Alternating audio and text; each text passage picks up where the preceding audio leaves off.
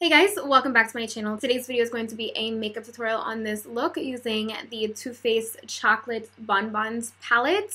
I originally, and you'll you'll witness this as you watch the video, but originally I kind of wanted something softer and not as smoky. Um, but then it just kind of went a different direction, and this is what happened. I still really like how it turned out. I hope you do too. If you do, please give this video a thumbs up, share it with your friends, subscribe if you haven't already. I'd love for you to join the fam, you know? Alright, so we'll go ahead and get into the video. So to save on time, I've already applied my foundation and my brows.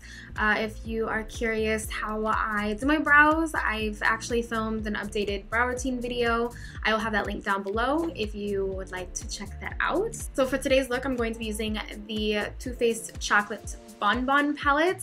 I felt that this was an appropriate palette to use for a Valentine's Day look. Plus, I haven't had the opportunity to use it in a video yet, so I'm doing that today. As you can see, this palette has a lot of neutrals, but it also has a few pops of uh, color that I think I'll be avoiding today.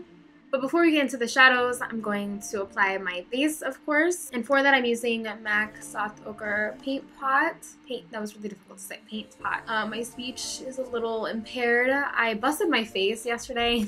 I don't know if you can kind of see, I, uh, it's not as noticeable now. It was really, really big last night it's kind of calmed down today, thank God. It's kind of embarrassing actually. I um I was leaning, we have our bed frame is from IKEA, so it's not exactly the best quality.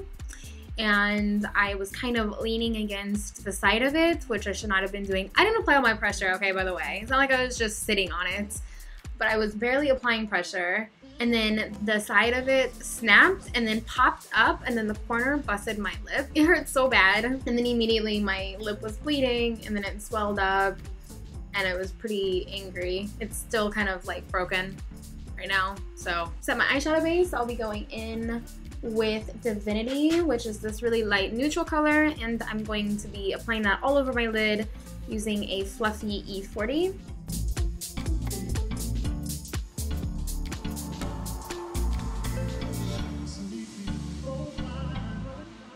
So now I'm going to go in and start building up my crease. The first shade I'm going to go in with is this Almond Truffle. It's a little bit more of a kind of a taupey brown. It's really, really light, but it's a beautiful transition shade.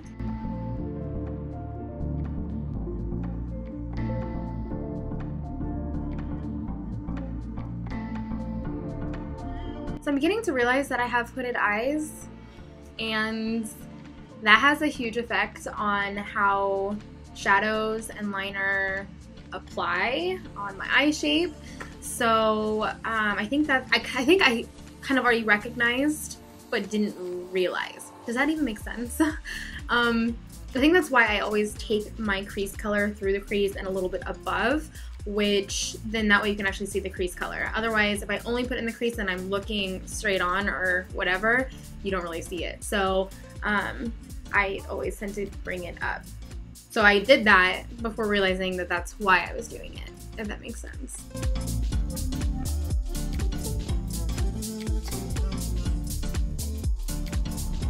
I'm also going to drag this color along my bottom lash line as well.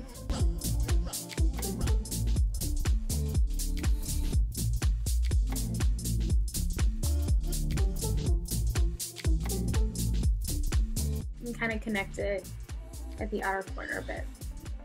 So now I'm going to go in and deepen on my crease using this shade right here. This is Malted. It's a deeper, more rich chocolatey color. Um, it does have some like very, very micro fine flecks. It doesn't really translate on the lid. It actually just kind of shows up more as a matte shadow. I don't want it to completely take over my lid or my transition shade. So it's going to be focused really in the socket, basically. And I'm just kind of dragging this right along my eyeball. I'm kind of massaging my eyeball, really, which is kind of weird. Yeah, that's really weird. Eyeballs need love too. Now to add a little bit of shimmer, I'm going to go in to Molasses Chip, which is right next to Malted. I'm taking that on the same brush. This is the Zoeva 221. It's a really nice, soft, dome brush, but it's also still very defined. So it's not like a pencil brush and it's also not too fluffy. So you can apply color where you want to. So for this shade, I'm going to apply it directly under the Malted shadow, but I'm not taking up the entire lid space yet.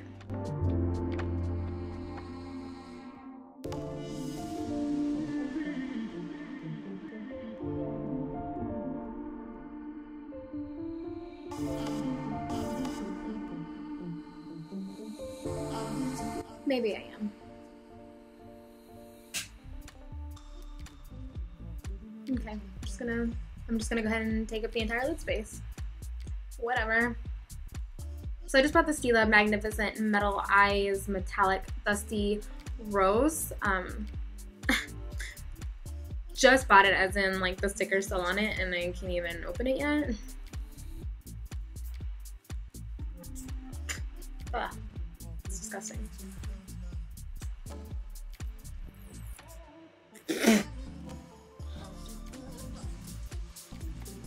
Got it. So as you can see, this is like a really gorgeous light color. Um, I really have been wanting this one for so long. I have three other ones from this collection, um, all of which are like bronzy and coppery shades, but I've been wanting this one, so I finally got it, and now I really want to use it for this look, but I'm not really sure how I'm going to.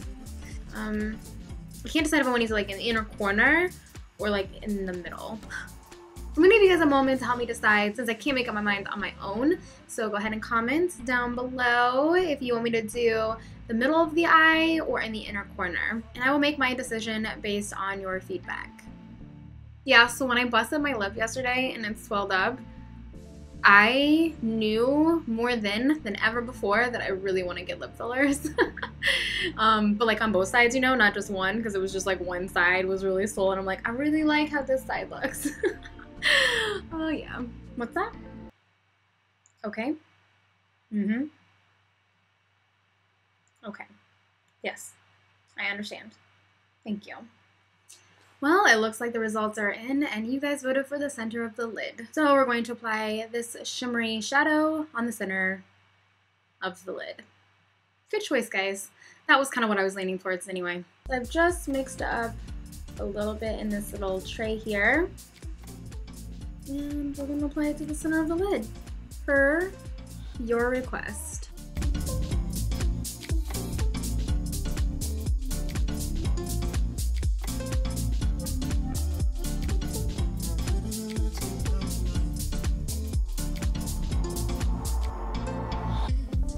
Maybe I'll apply it on the bottom.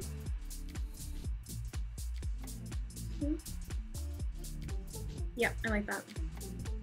It's coming together, guys. It's happening.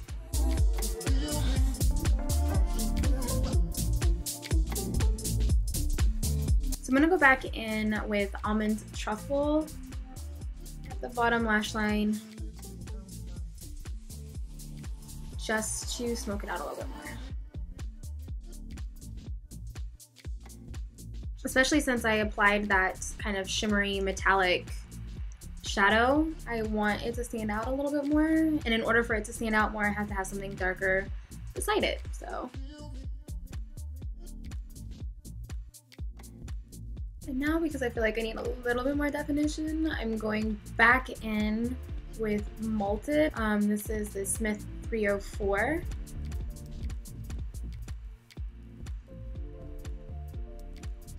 I have like a hair in my eye. It's about to ruin my entire look. I feel like this look is going in the opposite direction that I initially wanted to go. Uh, so yeah, I wasn't going to do a halo spotlight, whatever you want to call it look, but that's kind of what's happening now. Then I'm going to define my inner and outer corner a little bit more with Malted.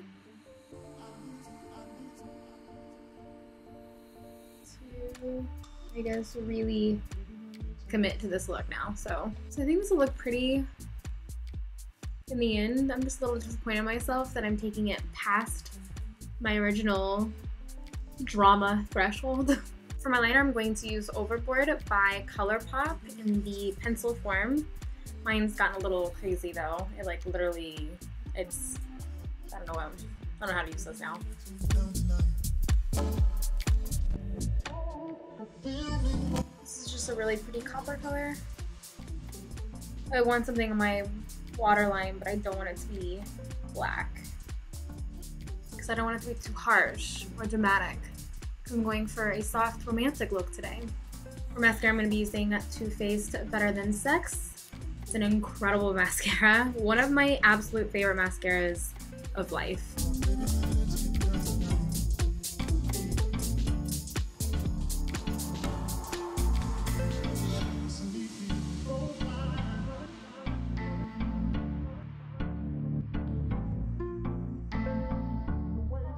So for lashes today, I'll be using the Miami Style by Lily Lashes.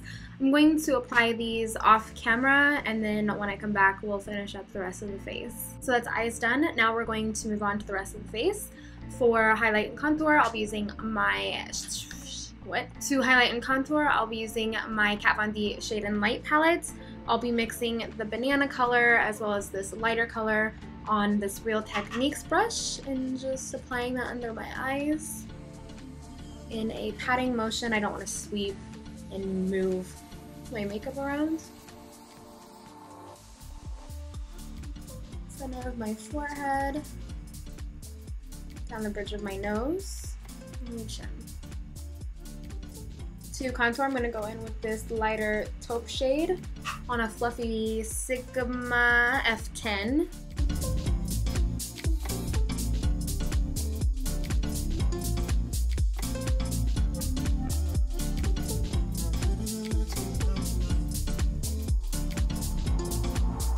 Highlight, I'm using Becca Moonstone on a Sigma F03.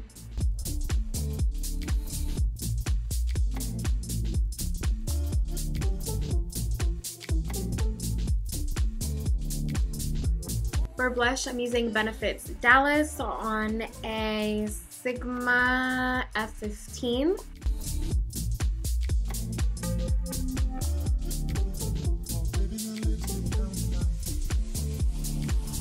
And for lips, I'll be using Angelus by Ofra Cosmetics.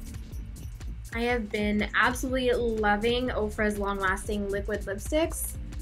Oh, they are amazing. They're very buttery. Actually, they remind me a lot of the NYX butter. Is it butter gloss? Uh, I can't remember. Butter's in the name.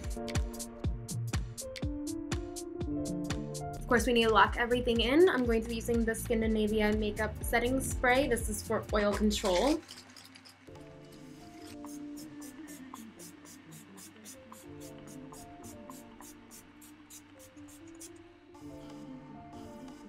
This is the final look. I really hope you enjoyed this video. I absolutely love the way it turned out. I hope you do too. If you do end up recreating this look, which I hope you do, or some variation of it, please use the hashtag Heidi Cupcake on Instagram so I can come find it and show you some love. Thank you guys so much for watching and hanging out with me today. I hope you have a wonderful rest of your day and I'll see you in my next video. Bye.